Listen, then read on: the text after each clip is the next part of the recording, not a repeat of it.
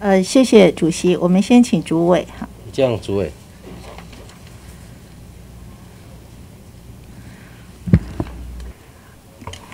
委员好，好，诸位好，我们先谈这个语言，呃，沉浸式的教学，主主语教学幼儿园的问题。好，那当然我们呃呃语言发展的办法里面有规定。哈，那全国的这个沉浸式的主语教学幼儿园的数量，其实历年来也是逐年在增加。好，我们看到到一百一十一年的时候有八十所。哈，但是到底沉浸式主语教学的幼儿园里面呢，他要遴选。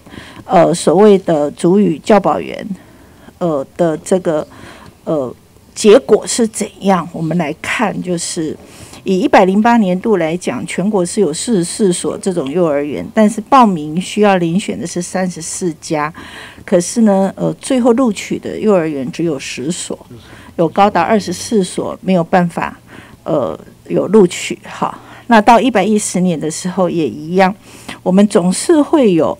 呃，主语教保员的甄选，呃，无法完成，呃的这种现象，哈，主要的原因是在哪里？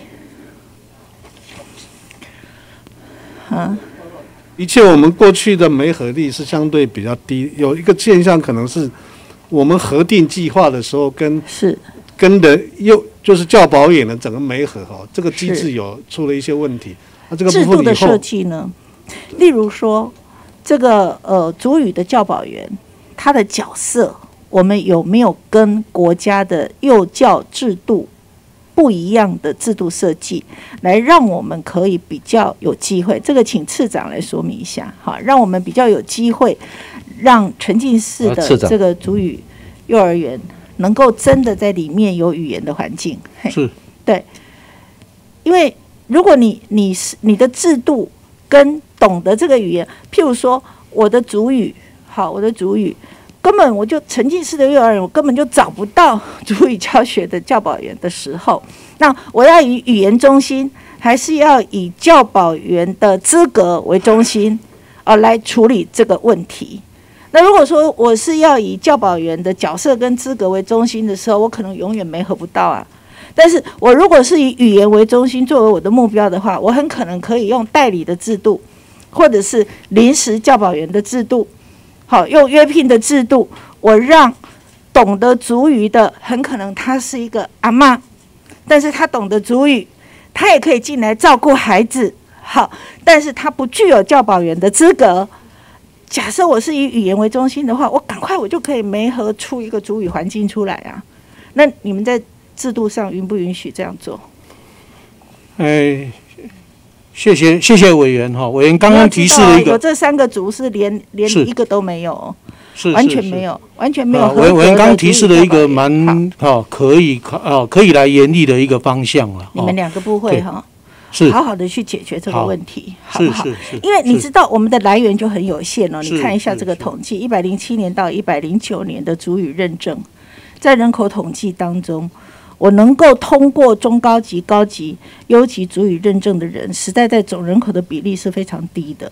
好，这下面的这个这个人口人口占比哈，并不是说我通过主语人数所占的比哦，不是哦，是横向的占比，不是直向的占比。好，这个占比是非常的低。我们能够我们能够寻找的。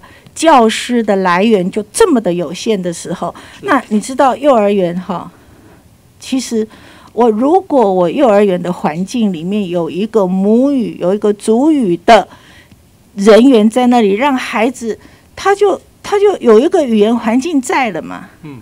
但是他受制度的影响，我教保员就是要教保员的资格啊。啊，你如果不解决，永远是这样哎。你看看需求跟。跟实际上能够提供的落差这么大哎，其实各种语言都有这个问题，次长，各种语言都有这个问题，但是我们的幼儿园提供一个很好的环境，因为我总是双教师，教师跟教保员，我总是双教师在照顾一个班。你说这个台语也好，客语也好，原住民的主语也好。如果我这双教师里面有一位，他从头到尾就是讲那个母语，讲原住民的族语，讲客语或者是讲台语，只要有一个从头到尾是这样的话，孩子在学校里面，在幼儿园的时期要学习就很快了。我觉得要朝向这里去规划设计，好不好？好，诸位跟次长跟教育部这边共同好好的来解决这个问题。好好，来次长您请回。好。